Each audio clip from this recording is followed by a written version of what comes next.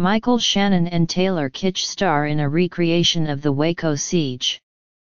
And the Goldbergs jumps forward to the 1990s in a one-off special.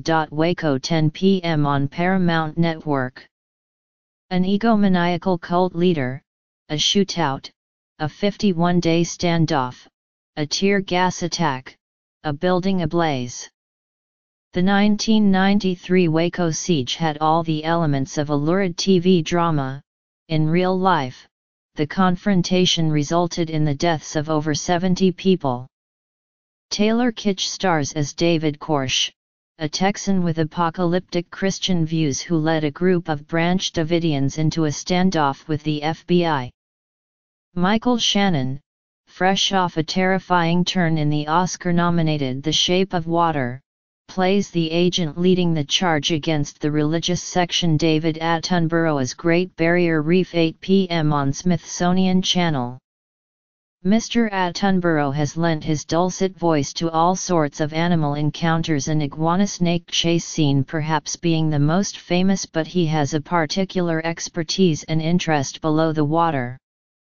This week he narrated Planet Earth, Blue Planet 2, now, he appears on screen to explore the Great Barrier Reef off Australia. He dives into shark-infested waters, sees baby sea turtles and whales, and looks for evidence of how climate change is affecting a delicate ecosystem. The Goldbergs 8 p.m. on ABC. This family sitcom delights in its commitment to its 1980-something time period, as the narrator announces every episode, with Reebok pumps, Atari and garbage pail kids galore. But this episode will need a new set of cultural touch points, as the scene jumps forward a decade to 1990-something.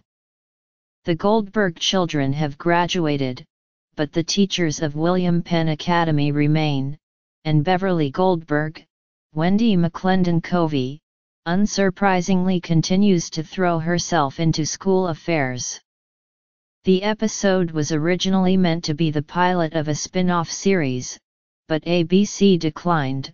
Tim Meadows, Nia Long, and Bryan Callen star as the school's staff. Schitt's Creek 8 p.m. on Pop.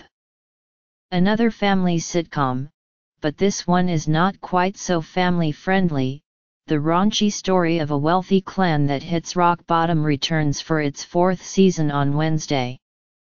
Eugene Levy and Catherine O'Hara star as the parents. And the series premiere of Let's Get Physical, which lunges into the world of 1980s aerobics, follows at 8:30. Pariah, 2011, on Netflix. This week, Dee Rees is celebrating several Oscar nominations for Mudbound. Seven years ago, she achieved a breakthrough with her semi-autobiographical work Pariah, which she began while in graduate school in New York. The film follows a 17-year-old African-American named Alike, Adepero Oduye, who is coming to terms with her lesbian identity in a resistant Brooklyn household. Stephen Holden named it a Times Critics pick, at its heart is an incandescent performance by Ms. Oduye, who captures the jagged mood swings of late adolescence with a wonderfully spontaneous fluency, he wrote in his review.